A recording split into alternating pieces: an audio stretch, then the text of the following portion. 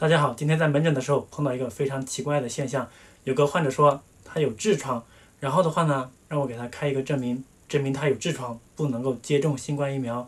我说痔疮和新冠疫苗没有任何关系啊，又不是往你痔疮上面打一针，我不能给你开这个证明。然后他就生气了，在那里大吵大闹。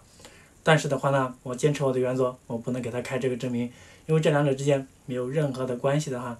你看这样的朋友啊。为了逃避打疫苗，居然让我开这样的证明。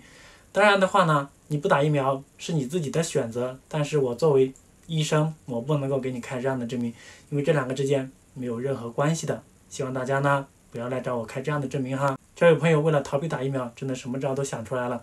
但是我要告诉各位朋友，疫苗很安全，是可以接种的，绝大部分人接种都没有任何问题的。而且的话。国家还免费给你接种，你为什么不接种呢？各位朋友，你身边有没有这样的朋友，想尽各种办法不接种新冠疫苗？